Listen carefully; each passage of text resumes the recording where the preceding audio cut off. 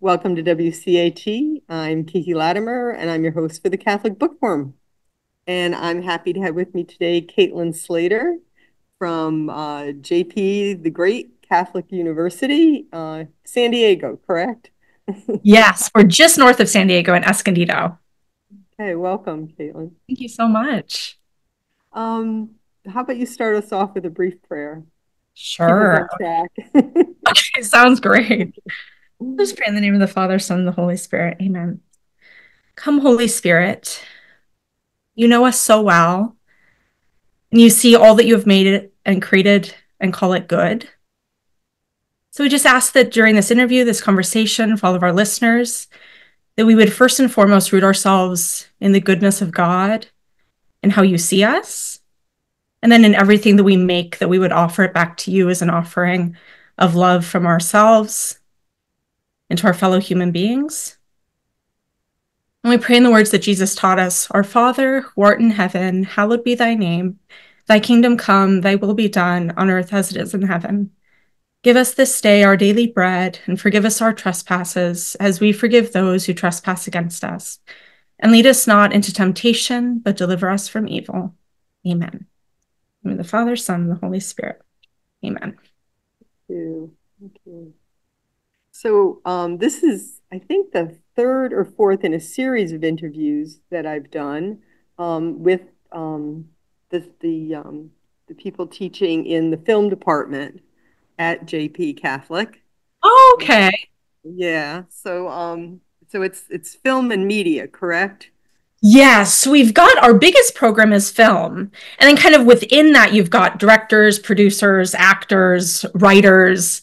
Um, we've also got like business, theology. So there's a lot of different programs, but kind of the biggest one is the film and creative arts. So, okay.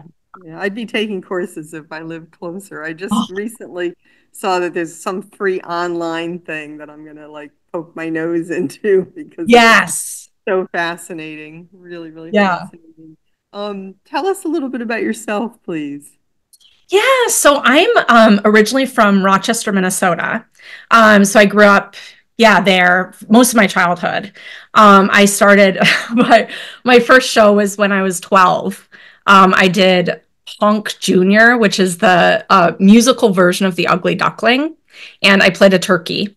And um, so that was my very first kind of introduction. I had never acted before. I, my dad would always take us to theater growing up. And so I, I really liked it, but I had never done it before.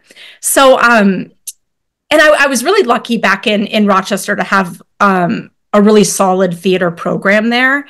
And it was actually run by a homeschool dad. I was homeschooled. So um, this group was just really good kids, really like collaborative group. And um, he really just let us do so many cool things through that theater. So obviously there was the acting side of it. But then he would have he really believed in like the power of children and that that kids can do things. And um, so he would have us directing, he would have us stage managing, like building the sets, um, doing even like marketing and stuff for the group. And so um, the more and more I did that, it just it just became almost full time, like through through high school. Um, and and then I was looking kind of yeah near the end of high school, really trying to figure out what I wanted to do with my life, and um, it was between theater and theology for me actually because I I had a deep love of theology and um, but then I had just a deep love for for the arts and for storytelling, and I I didn't know where to go, and um, friends of my parents came across JP Catholic, um, and they were like, you know this this looks really cool. And so we went and visited a couple times. And then, yeah, I ended up going there in um, 2014 and um, went through the acting program there. And um, I graduated in 2017. And I started like auditioning, doing theater around San Diego area. And then um, I started TA work for JP Catholic. Um, Lee who founded the program, he really needed a TA at that point. And so I started doing a bit of teaching work with him. And then um, as of 2022, I came on full time um, as the creative director of the program there. So, um, yeah, that's just a little bit about the journey there. so you really got to bring your theology and your your acting and theater together. Yes, that was like one of wow. the biggest gifts of God. Like I just can't even like the the acting program and, and i can talk more about this but but the way Lee Eskey teaches is he incorporates theology of the body.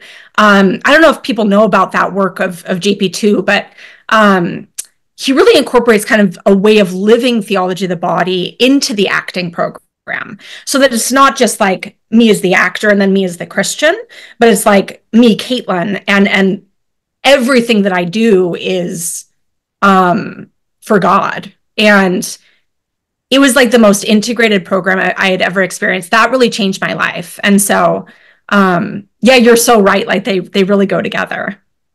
That's a, that's what an awesome thing to be able to do. I mean, my background is is was in the oral interpretation of literature originally at um, University of Rhode Island, um, which was a secular university. So the theater department was not like bound up um, in any kind of, well, it was bound up in a secular theology. Um, but I was very blessed at the time. The philosophy department at the University of Rhode Island was pretty predominantly Catholic mm. slash Christian. Um, there were a few Protestant professors. Um, but by an, an, accident, by the divine accident of God, it had become a Catholic philosophy department, um, which led to my conversion to Catholicism.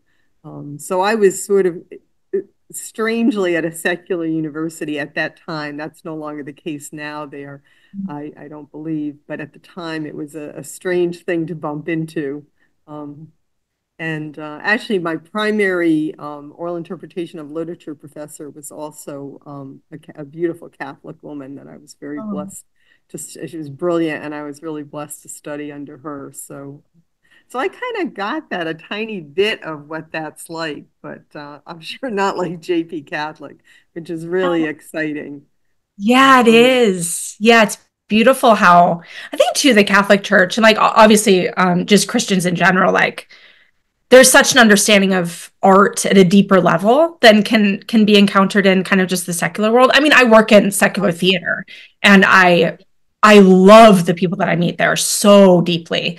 But it's like like the reason that they do art is so different. Like it's just there's a piece missing of like why like why even art matters, you know, in the first place. So I so you mentioned being homeschooled, and I saw in something that I read about you recently, you were involved with Romeo and Juliet. Yes. Yeah. Yeah. I helped direct that at, at JP Catholic last, I guess was in the March this past March. Yeah, that immediately, my, my children were homeschooled, um, and some of my grandchildren are being homeschooled. But um, Shakespeare and, and Romeo and Juliet in particular was a big deal in our household. really? Oh, that's awesome. Yeah. In fact, my daughters, Katie and Jenny, um, there, was, there was always a big argument over who would play Romeo and who would play Juliet, you know? and uh, Jenny usually um, one Katie usually wound up being Juliet only because she was older, so she had a little more power in the in the situation. Um, but we loved our our Shakespeare days; they were just just wonderful. Yes, well, it's so funny because growing up in Rochester with the the troupe that I was with all through high school, um, kind of my first introduction to Shakespeare was we would do Shakespeare in the Park and so we would, um, in the summer, like during kind of a two to three week festival of the city, we would put on, yeah, Shakespeare in the Park. We'd have like, we had this really large minstrel wagon that would like kind of wheel in and, and musicians on top of it. And then we'd um yes we had live music and then we would do a shakespeare part play and we would like be using the entire park. It was it was just really fun. So i i love shakespeare too yeah. That's awesome. Yeah. So at jp catholic you are the creative director of the acting program. Yes. Which made, I, told you made me smile because like you're not just the director you're the creative director. Yeah. So you've got to be really good. Exactly. Great title yeah what you do like on a daily basis there yeah, gosh, it really kind of varies. I mean, there's a ballpark of things that I do, and then each day can kind of vary from that. So, one of the things that I do is I work really closely with Lee Eskey, who founded the program, and um, he still teaches there as well. So we kind of bounce ideas off each other, kind of of the the overview of the program, and and each individual student and where we see their growth and, and how to kind of push them and um, where to take the program and different ideas associated with that. Um, kind of more the day to day, I think is well, I, I, plan our seasons. So I, I decide what shows we're going to do. So, you know, I chose Romeo and Juliet for last year and different. We do um, normally a play in the fall, and then um, we do a Shakespeare play in the winter, and then we often do a summer musical. And then kind of scattered throughout that, there are different student projects that I'm mentoring and, and different projects that students are leading and oh. performing. So, um,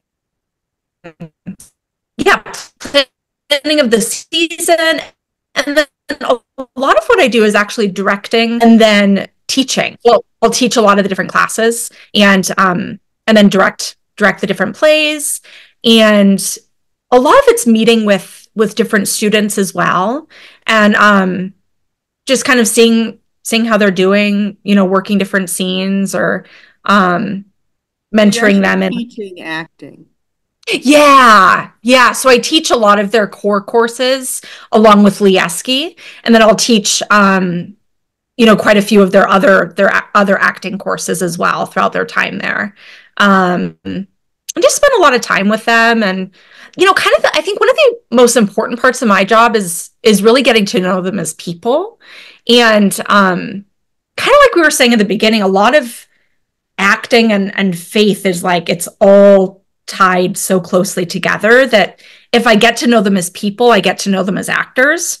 Um, and so a lot of it's, you know, just just spending time with them and and working on different things and um yeah, just kind of bringing them along throughout their time. So well, you know, I taught homiletics, um, teaching, you know, priests, seminarians how to give a homily. That's awesome. Um, and there's a lot of similar things. I mean, my book is Home for the Homily, and there's a lot of acting in some sense, um, in the best sense of the word, involved with homily because you have to learn how to bring your person into what you're saying.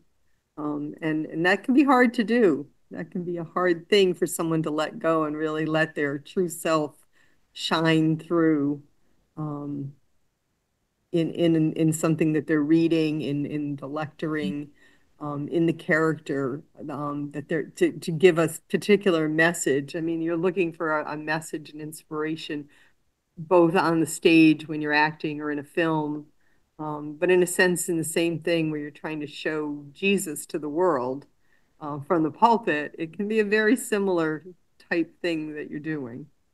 Yeah. Well, I loved what you said about like, it's about bringing your person right and like like letting yourself be there because I think so often a like misconception about acting is that it's lying. I don't know if you've heard that. That's kind of like a typical like like actors must be good liars and it's like well it's, it's so interesting because it's actually the opposite, right? That that in order to act, it's actually about telling the truth. And of course that truth is is under imaginary circumstances.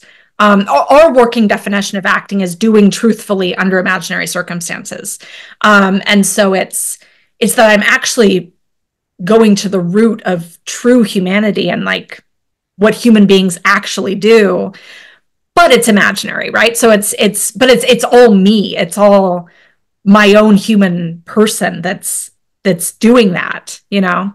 At the same time if you're a really good actor we lose sight of you and the character the, the message comes through. And and that always fascinates me because it's the same in mm-hmm. homily is that, you know, I'll say to them, we don't want to see you. We want to see Jesus.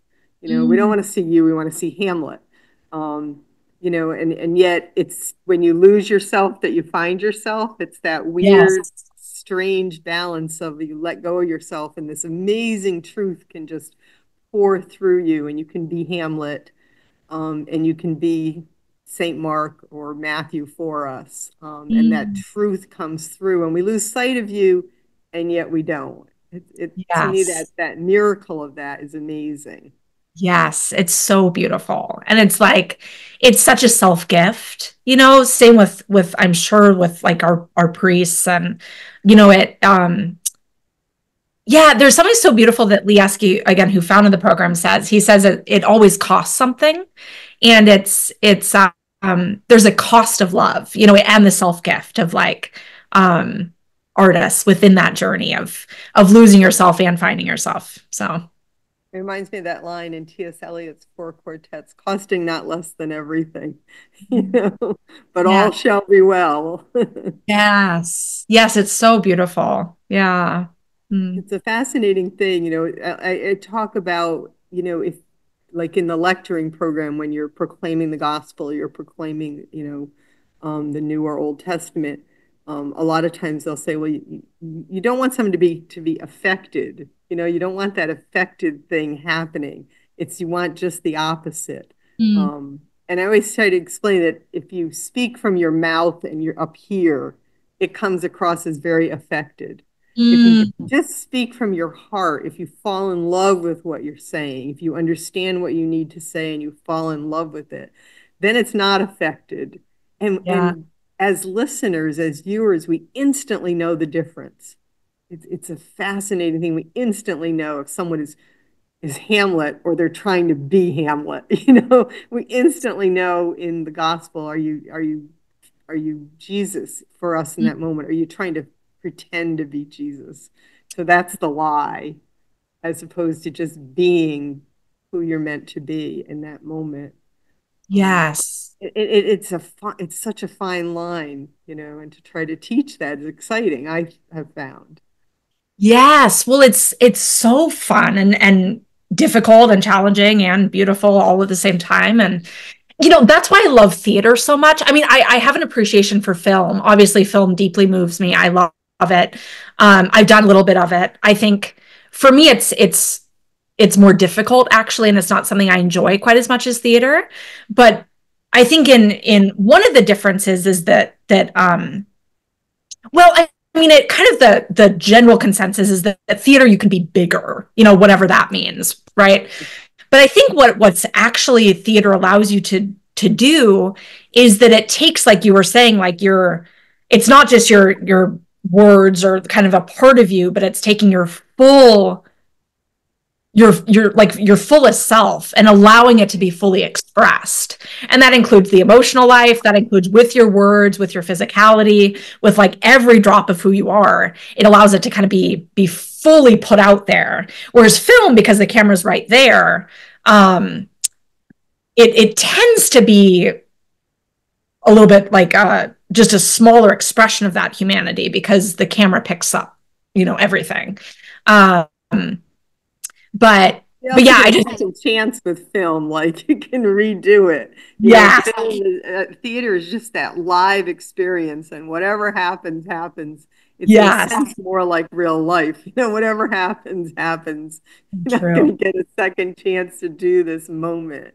And, yes. You know, um, I, there was a wonderful. I, I saw a, a production of Camelot a few mm. years back, and um, Robert Goulet, who had originally played Lancelot, was now, you know, 30 or 40 years later playing um, playing playing King Arthur.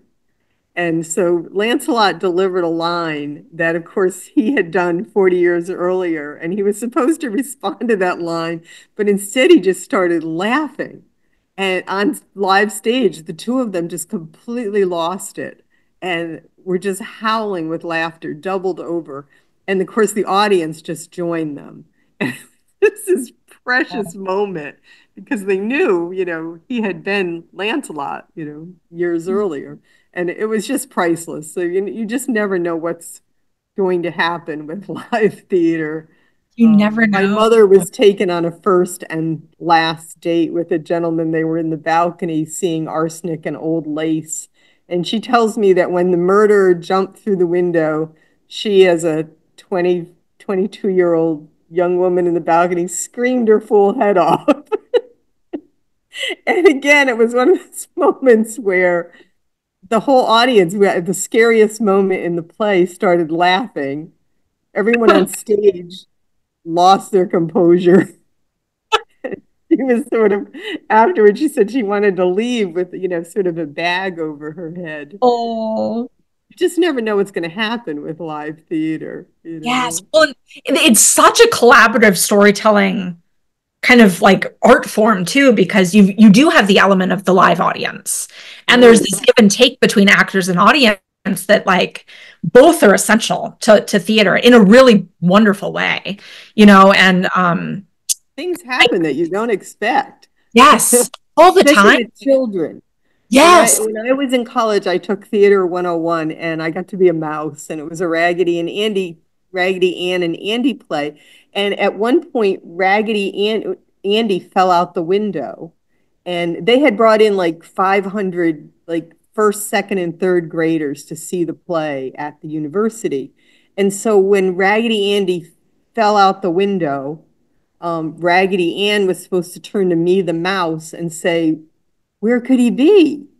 And we had no expectation that 500 children were going to yell, He fell out the window.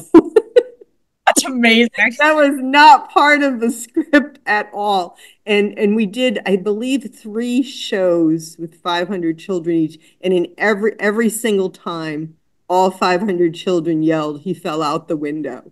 And when wow. she didn't react to that, they got even more upset and just yelled it all the louder. Um, so we had to kind of adjust the play to the children. Um, oh my gosh! They just felt they were part of the part of the story. Uh, yeah, unlike adults who know they're yes. not. Children don't know that. yes. Oh, that's so beautiful. So, it was priceless. oh, that's so good. Yeah, I mean, I growing up kind of with you know the the troupe in in Rochester too. One of the big elements was was teaching the younger kids. So I actually grew up teaching kids before teaching in in college, and there's something so magical, like you were saying about like children because they they're spontaneously creative without having to well kind of going back to like they don't have to be a character they just are they just experience it. And they experience it in real time you know you can like gather them together one of my favorite games is like gathering them together and being like okay there's a monster here we have to go find the monster right? And like taking them on a little like improvised you know scavenger hunt or whatever. And the minute you start that it's like they all you know buy it right away. And it's just so beautiful. Like it's like like we have to go to school to learn how to be children in a sense you know? It's it's like it's just so they're just such beautiful creators and yeah. What's your favorite thing about working with young people at jp catholic? Gosh. yeah. So many things. I mean for one thing i just have amazing students. Like they're just um beautiful human beings like just like yeah just just wonderful thoughtful like they're so honest about their struggles and and their wants. And I think one of my favorite things is as kind of like because I get to know them so well is to actually see their their deep struggles and their deep wounds.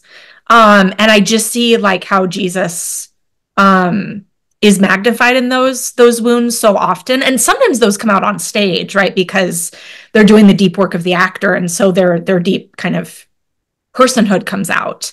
Um but another thing that I just love is they're so open to the journey and they're so open to their highs and lows. And something that we explore a lot in the acting program is um, we call it like the ache or the pang, right? And it's like it's that part of us that wants something, but so often we have to shut it down because, um, well, we often shut it down so we don't have to feel it, right? So we turn to technology or we turn to, um, you know, alcohol or whatever those things are that we kind of dull that that part of us that just wants more. Ultimately, it's a want for God, right? Um, but but the the way that we go through the program is to actually get in touch with that ache of like it, you've got to be able to feel it in order for God to fill it, right? So, um, and that's hard. That's really really challenging because it can almost be a panicked feeling. I know sometimes when I'm feeling that, especially especially silence kind of brings it on, right? Or silent prayer. And you just start feeling, at least for me, it's just this kind of like, oh no, I've got to go do something, right? I can't just sit with that, that because it's it's scary and it's challenging and we don't know what it is, right? And so um we we encounter that a lot in the program. And some students um it's it's almost too challenging. They have to kind of um they, they have a really hard time being in touch with that that their humanity but a lot of the students, especially the ones we have on campus now, and the the class that just graduated, um, they're willing to go there and to to encounter God there and um and it's just been so inspiring for me and I think for just the program in general to to have students um on campus that are willing to do that. So that's one of my favorite favorite parts. So when a student arrives there, what would be, and they want to become an actor, what would be, let's say, the first course they would take with you? Would they take it with you or? Yes, yes, they would take it. So um, Lee Eskey and I co-teach Acting One, so very aptly named. Um, and and Acting One is really a journey of self self discovery. So um, yeah, actually, I mean, kind of like I was saying before they even get a script in their hands, before they do any kind of like character work, it's it's really all about them. And um and, so acting one is is the first class in which we really turn towards them as human beings. And um our program is based on the the acting kind of philosophy of Stanislavski and Sanford Meisner. Um they Stanislavski lived in in Russia and um and then Sanford Meisner kind of helped spread his teachings in the US through the group theater in New York. And there's kind of a whole backstory to that. But but pretty much they um well, especially Stanislavski, who's then teaching, came to America, revolutionized the whole idea of what acting is by um, realizing that it's meant to be truthful. Because before Stanislavski came on the scene, it was very much about kind of big postures and and speaking in a very you know actor voice. And and he was like there's got to be something more to this. So he really kind of started that whole trend of of realizing that acting is is um truthful that it's it's meant to express humanity and so um, there are different exercises that we do in acting one to get to the truth of the moment. It's all about the truth of the present moment. And, and that's really the foundation for everything else that they do. Reminds me of times when a seminarian has read something and I'm teaching and uh, I just say, I don't, I don't believe you. Yeah. you know, like what? And I'm like, I don't believe anything you just said. Mm. You know, um, and sometimes I've turned to the classes, does anyone believe what you just, everyone's like, no, you know, and uh, sometimes I've had a seminarian go and speak to the wall instead of speaking to the class, just go off, but go over there by yourself in that corner and and do the same lines, but just to the wall so that you're not like doing anything for us. Find, you know, it's that thing of finding the truth. Yeah. Finding the truth, find it. Yeah. And, you know, um, and and sometimes I'll say, okay, now I want you to whisper it. Now I want you to shout it. Now I want you to just, you know, and again, it's using different tools to get one, get someone. I've never thought of it in those terms, but it, it's to find the truth in what you're what you're saying, what you're proclaiming. Um, yes. Because if you don't find it, why bother us? Mm-hmm. don't bother me from the pulpit. Don't bother me. You know, there's no point if if it stays on that unreal sort of a lie level. It's got to it's got to be truthful, um, and and that's that heart thing. You know, you yeah really you know it's one thing for your intellect to know something you know, mm-hmm. like you know, the devil knows Jesus in his mm-hmm. intellect. You know, he's got a brilliant intellect. Doesn't know Jesus in his heart. He has no heart. You know. Yeah. Um, so we have to know the truth, not just intellectually, but it really has to come through the heart. I mean, Dietrich von Hildebrand talked about, you know, the importance of the heart. Mm. Um, we have to, it has to come through that, you know. Mm-hmm. If you have not love, you are that clanging cymbal, you know. Yeah. Yeah, just like like you were saying the beauty of the the heart um kind of in terms of of like the acting and the homeless and um that that it's such a, a courageous and brave journey to embrace the heart, you know, because it's um the heart experiences great pain and great joy and um it's it's really beautiful when a person can embrace both you know and and live from that that place. Yeah. How many students are in your classes generally? So, yeah, generally there's between like 8 to 14. That's kind of the general number that we've had the past few years. That's a nice size group to work with. Yes. Yeah, yes. And then they can get to they, yeah, they can get to know each other and and us and and it's it kind of f- forms a, a collaborative cohort, I would say. What's the hardest thing you would think that, like, if I were asking them, what's the hardest thing you deal with getting started in acting? What would, what have you seen that they struggle with? Yeah, I think, um, ooh, that's a really good question.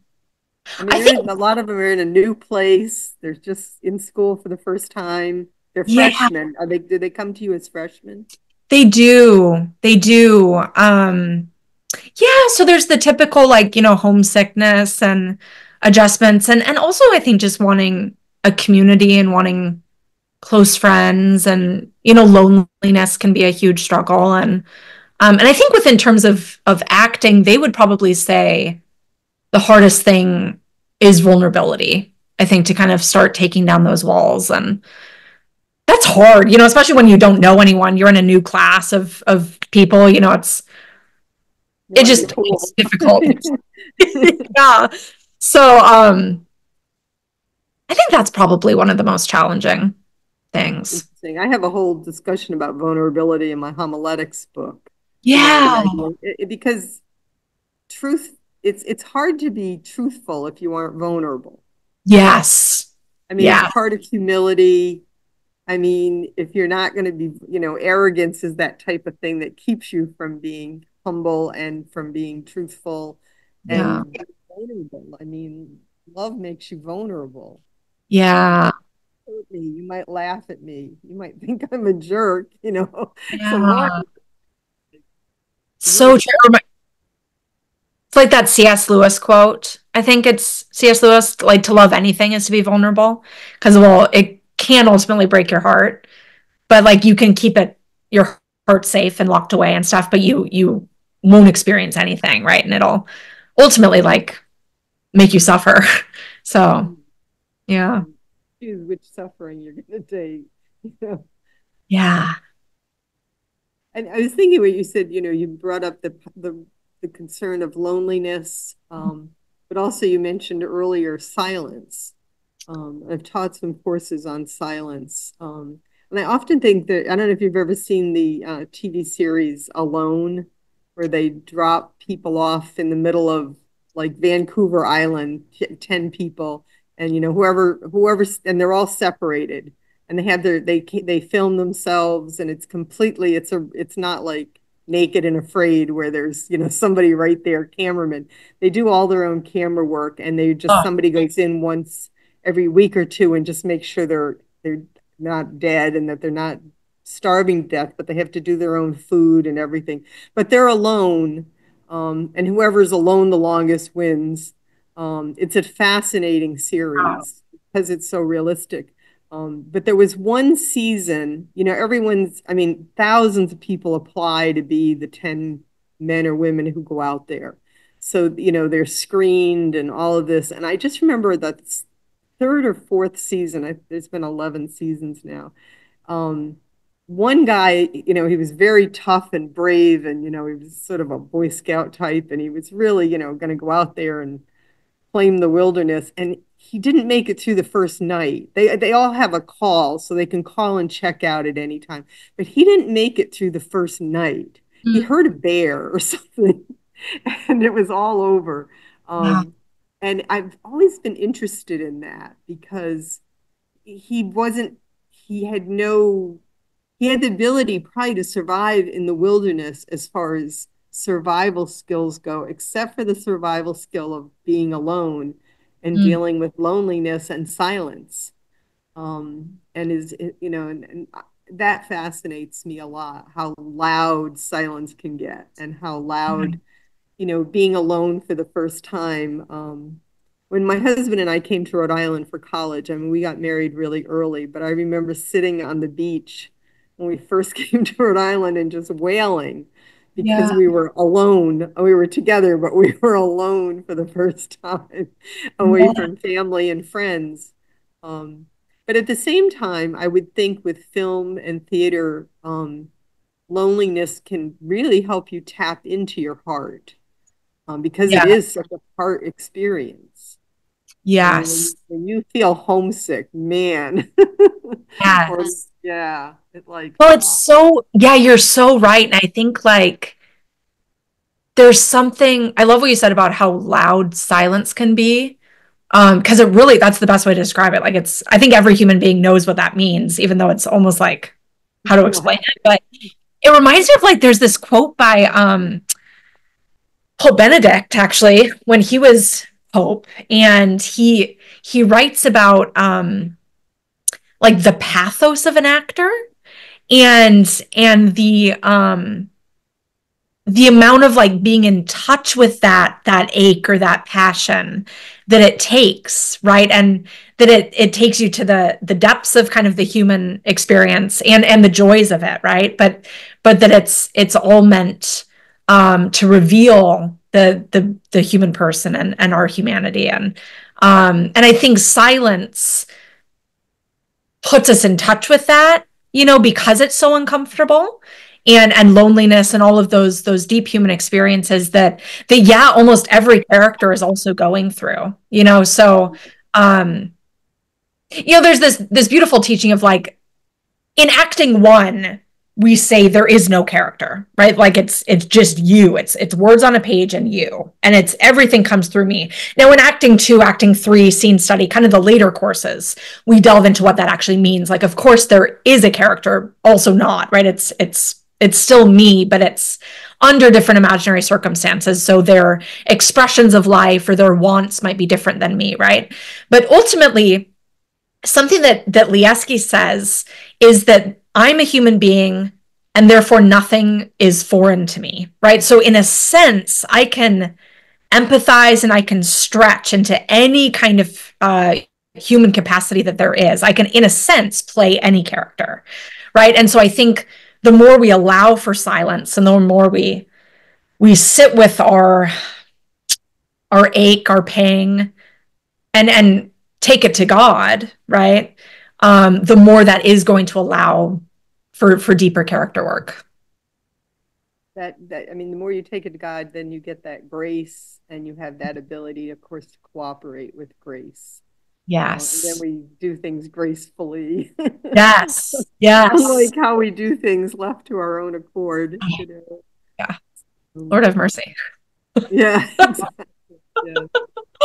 oh man. I, I want to mention just one other thing. I know we don't have too much more time, but you mentioned um, something what you call the humor of humanity. Yes, yes, I do. Um, yeah, the humor of humanity. I think for me, life is ultimately. This sounds a little contradictory to what I've been saying, so I'll try to explain myself. But life is ultimately funny, and human beings are ultimately funny and um not funny in like a, a, mockery. I think sometimes when we we talk about like the the humor of of human beings where we sometimes i think what we mean is like they're stupid or they're you know we kind of mock it. But i think life is ultimately you know it's interesting. I was i was actually just this is kind of coming from um, i was having a talk this is probably a year ago now but with one of our theology professors on campus. Um, his name is steve cramp. And um, he has a very dry sense of humor and um and we were talking about actually Shakespeare's comedies and um what that means right to for something to be a comedy. And and he had mentioned how comedy ultimately points to the divine comedy right? Like um if if our christian history ends on good friday it's complete and utter tragedy right? And um but as we all believe, it ends on Sunday with the resurrection, right? And so, depending on the perspective of when the story ends, life is either tragic or comic. Um, sometimes both in in any given moment. It can be both very funny and very tragic. But but I think something really important to remember. This is something that I need to be reminded of constantly. Is that life is ultimately a comedy, right? Like it it I believe ends God willing, in heaven, and that that in heaven we see everything and how it all made sense, right? How every every moment, if we're surrendered to God's grace, um, you know, makes sense in in grace, and and that God was working in every moment. And so I think like um, it's so easy, at least for me, to kind of get down and be like, life is terrible, you know, it's like painful, and because it is, but also um, the the humor of humanity. I think like life is funny, and it it reminds me ultimately that God has won, and He is victor, and all is well. You know, and so it ends ultimately in kind of the the highest divine comedy. I often wonder how people get through life without humor. My my family is quite funny. My daughter Katie runs the Rogue, what's called the Rogue Island Comedy Festival. Um, it's funny. I asked her the other day, you know, what what makes comedy, and and her answer was truth and timing. Oh, great. truth and timing. Yes. But you know, during the most difficult times of my life, it's it's really been humor that's helped myself and other people sort of get to the core of of things and uh, you know i remember the week my mom was was dying and uh, my sister and our brother we were all sort of sleeping in the waiting room for a week and uh, you know it was just this crazy thing she was in the icu and um, at one point i turned to my brother and sister and i said you know i'm not going i'm not this is never going to happen to me i said because i'm a stuffed animal I said, I, there's no like kidneys and liver and all this stuff that we're dealing with with mom. I'm a stuffed animal. And um, so, you know, we all laughed. And, um, but then a week later, um, I, a week and a half later, I had to pick up mom's ashes at the funeral mm. home. And um, so I got them and I came out and I was sitting in the car and we had to, my husband was driving, we had to stop and get gas. And so I had this, this box of ashes, you know, on my lap in the car. And of course, I could tell like curiosity was getting the better of me because it was this plastic box and it was like, well, I've got to open this box.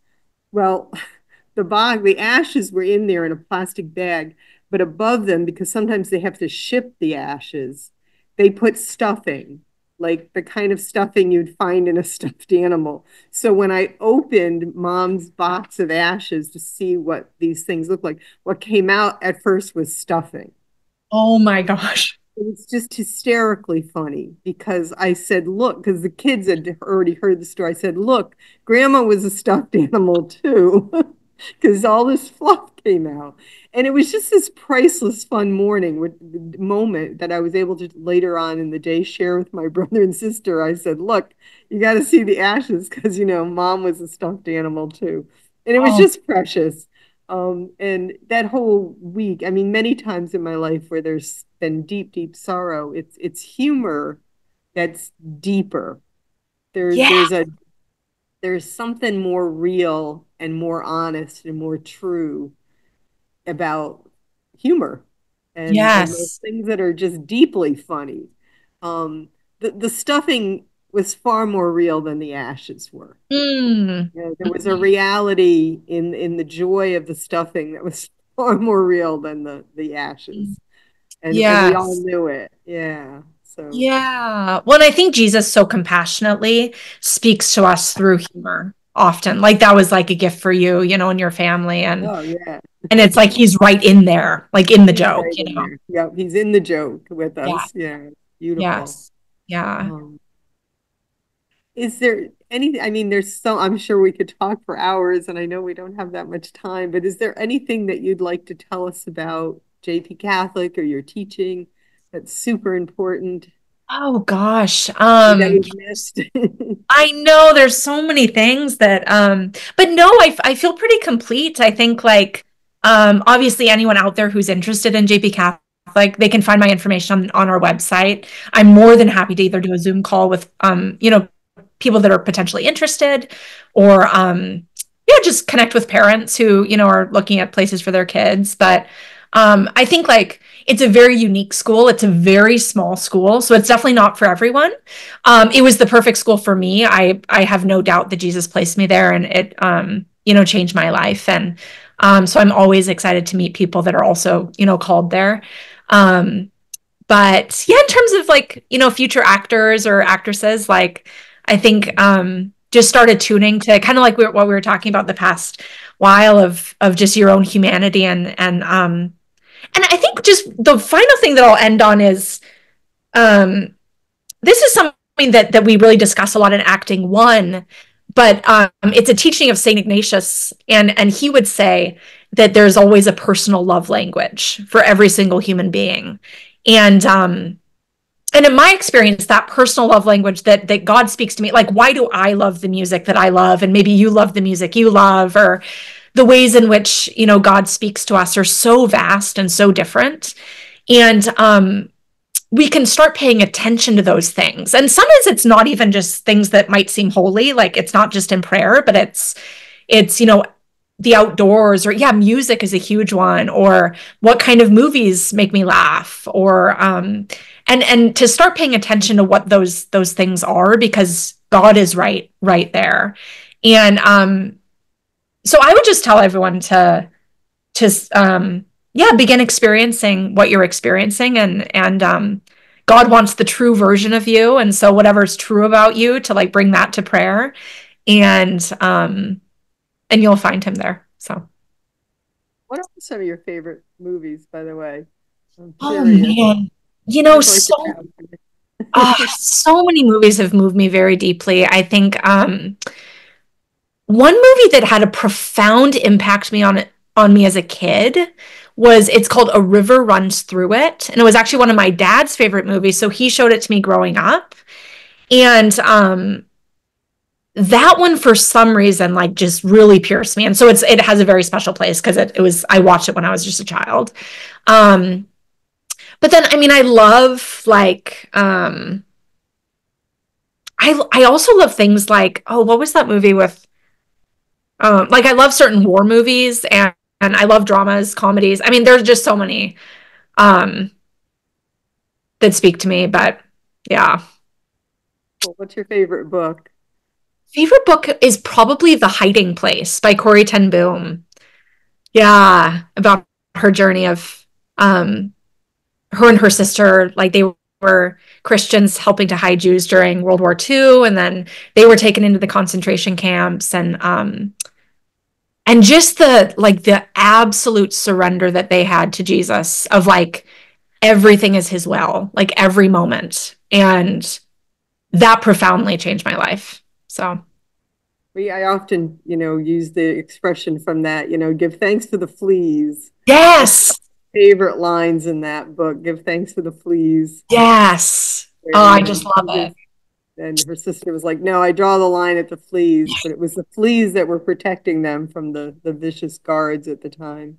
Yes, and that whole concept about do we always tell the truth when she, you know the Jew when the the Nazis came and they said, "Are you hiding Jews?" And she mm-hmm. said, "Yeah, they're under the table." And she yeah. gets slapped for it, but they were under the table. That was the truth.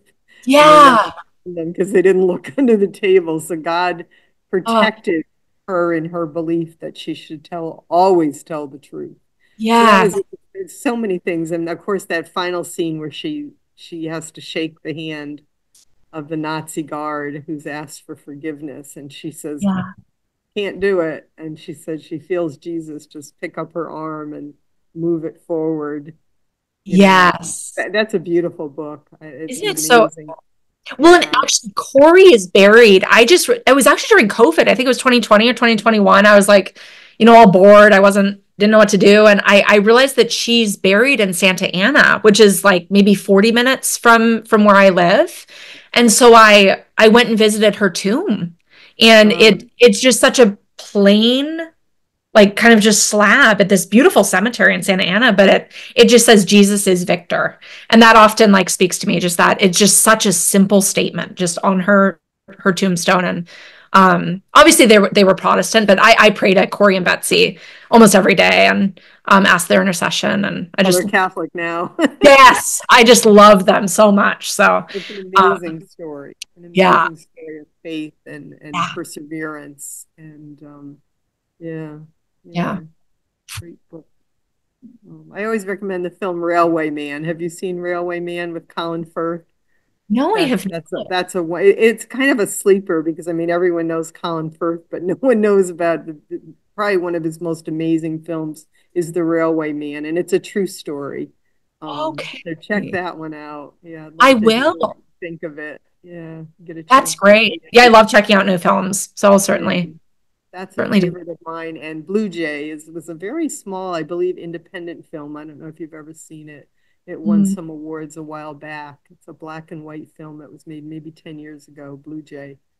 Okay. Oh, Two, that's two great. favorite films of mine. So, Yeah. Well, I will check both those out. That's awesome. Yeah, let me know what you think of them. Yeah, I This has been delightful. Um, for anyone there in the department that hasn't had an interview yet, get, get, have them get in touch for an interview because this is so much fun for me. Oh, you too, Kiki. It's so good talking to you. Oh my gosh, so good. Want to end us with a short prayer? I would love to. Yes. Let's pray in the name of the Father, Son, and the Holy Spirit. Amen. Come, Holy Spirit. Oh, Jesus, thank you so much. Um, thank you for Kiki and for art and theology and for life and how you speak through all things and make all things beautiful. And um, we just offer you this day. We offer you our lives, ourselves, um, that you would be glorified in all things. And um, we'll just end this session uh, by offering everything to Mary and her heart as we pray Hail Mary, full of grace, the Lord is with thee. Blessed art thou among women, and blessed is the fruit of thy womb, Jesus. Holy Mary, Mother of God, pray for us sinners now and at the hour of our death. Amen. In the name of the Father, Son, and the Holy Spirit. Amen. Thank you so much, Katelyn. I just want to mention also for, for those who are listening here who um, don't know, J- JP, John Paul II, wrote a beautiful letter to artists. Yes. And it is available on the internet. Just Google Yes. JP2, letter to artists. It's, it's not long. It's, I don't Mhm. know, maybe 10 pages long. Um, so if you're in the art world of in on any level whatsoever, it's a, it's just an amazing document. Um, so I Yes. just want to squeeze that in here. Yes, And thank course- you. Yeah. JP the Great Catholic University. Check it out online. Um, wonderful place. I know there's a lot of homeschoolers will be um, listening to this as well. So um, check it out. Yes, please do. You know, I'd be taking courses. So Yes. Hopefully I meet So some of much. you who watch this. So thank yeah. you so much. Thank you, Kiki. I really appreciate it. Yeah, wonderful talking to you. Yeah, you. too.